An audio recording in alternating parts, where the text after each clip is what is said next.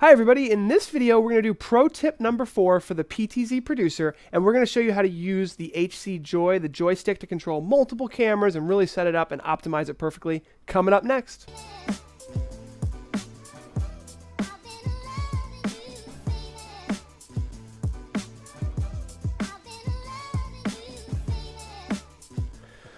Okay, so the PTZ producer kits are turnkey live streaming systems that PTZ Optics offers to make live streaming simple. It includes everything you need with a PTZ camera, a joystick controller, frame grabbers, 100 foot of cabling, all of your audio, and a super fast computer with Windows 10, 32 gigabytes of RAM, a 250 gigabyte solid state hard drive, and it's just a powerhouse. We've done a bunch of pro tips on the Intel NUC.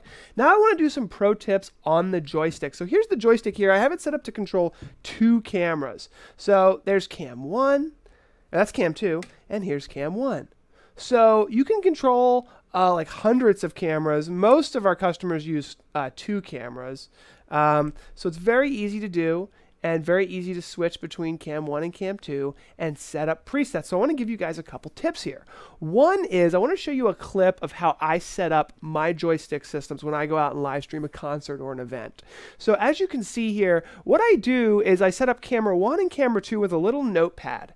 And the way you can use this is you can see see it says cam 1 cam 001 there, and then cam 002. That's how you know which camera you're operating. So in order to set up presets for that camera, you got to make sure that camera is selected. You hit set preset, the number, and then enter. And then what, what I would suggest, this is kind of our pro tip here, is to write down where that preset is. Because sometimes the numbers you forget. And what you can do is you can just go ahead and pan tilt zoom the camera to another location, hit set, and then hit 2 and then enter. Now number 2 has been saved as your next preset. So we just go through this process here, you know, while I'm setting up a shot, get up the angles, make sure you have a, a monitor so you can see the camera really well and see where you're setting it and just go through. It's very easy to set up hundreds of presets. Um, we set up a stage, a podium, maybe a wide angle shot, and uh, you can just kind of pan tilt the camera exactly where you want it, hit the number, and then set, and then you have set those. So uh, we can go through, I'm going to do five presets here for camera one. Uh, you know, you can do five presets for camera two. You can do as many presets as you really, your heart desires. You can do hundreds of them.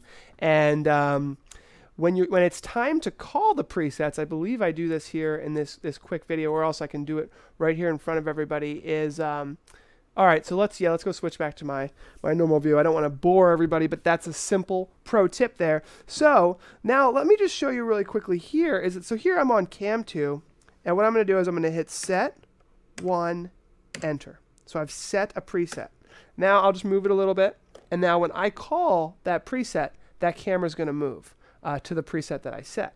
So I hit call one, enter and now it goes to there. So there's call mode and there's set mode, and you need to hit the escape button to get out of those modes. Because when you're in call mode, you want to call preset one, call preset two, call preset three. You know, you're in that mode and you're just doing it, and you still have PTZ control. So the setup mode is done first. You set all those presets, and you're done with that mode. Hit escape, get out of there, then be in the call mode, and you can still switch um, cameras and cam 1, cam 2, cam 3, cam 4. But once you select your camera, you get in the call mode. And again, if I can still PTZ it, and I can go to preset 1, 2, 3, 4, whatever, saved. So that is our pro tip there. I want to show you the cabling really quickly. Um, these cameras are going to include, all the PTZ producers include a 100 foot of HD SDI cabling to get your video all the way back, and either DB9 or RS-232 Cascade. Now I want to explain the difference here, so let me show you our website. Um, DB9 extends the first cable from the joystick to your camera. And Cascade cable, if we scroll down a little bit, here's the HD SDI that comes with it, high grade plenum rated cabling. The Cascade cable, that goes from the first camera to the second, the second camera to the third. So let me show it to you right here in front of me here. I'm going to kind of unplug some things so I can really show you everything. First of all, this is the DB9 cable. So the DB9 cable goes from DB9 to 8 pin mini DIN. So this this cable actually is included with every camera, DB9 to 8-pin mini DIN. Now what we want to do is if we if we have the camera 100 feet away, here's a DB9 cable here. We extend DB9. It's DB9 male to male, male to female, and it goes from the joystick all the way to here. And we still use this included DB9 to 8-pin mini DIN cable to plug in to the first camera right here. So it plugs right in to the to the cat the first RS-232 in. Now on the second cable, we would use this is an 8-pin mini DIN to 8-pin mini DIN. So there's two 8-pin mini DINs. Now this is a short one footer. You would get a 100 footer if, if you choose the secondary camera add-on. And I can just plug that right in to the 8-pin mini DIN in. And then on the second camera, you can see here there's an 8-pin mini DIN in and out. So I apologize, it's a little hard to see, but that is the way it works.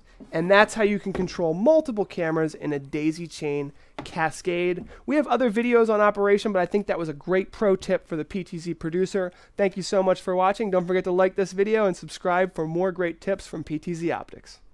Click to watch another exciting PTZ Optics video. And don't forget to subscribe. Tune in Fridays at 11 a.m. Pacific, 2 p.m. Eastern to join our live show with new industry experts interviewed every week.